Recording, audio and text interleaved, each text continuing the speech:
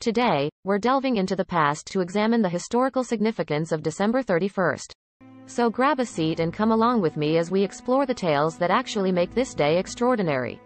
The Vandals, Alans, and Suebi crossed the frozen Rhine River into Gaul on this day in 406 AD, marking one of the Roman Empire's final significant assaults by barbarian forces.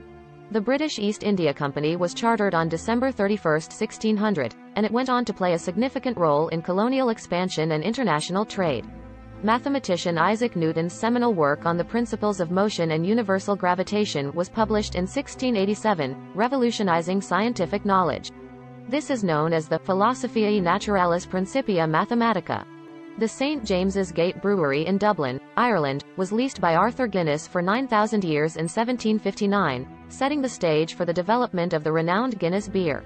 This day in 1857 saw the patenting of Gustave Eiffel's design for the Eiffel Tower, which eventually led to the building of the famed structure. The first effective incandescent light bulb was demonstrated by Thomas Edison on December 31, 1879, altering the way people light their homes and places of business. The Pirates of Penzance premieres in 1879. The Pirates of Penzance, a Gilbert and Sullivan comedic opera that wowed audiences with its humor and melody, made its debut in New York City. The first segment of the New York City subway, which connected Brooklyn and Manhattan, was inaugurated on this day in 1897, revolutionizing urban transportation.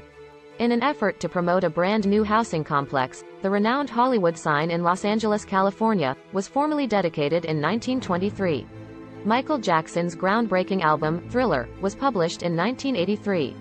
It went on to become one of the best-selling albums in history and had a profound impact on the music business.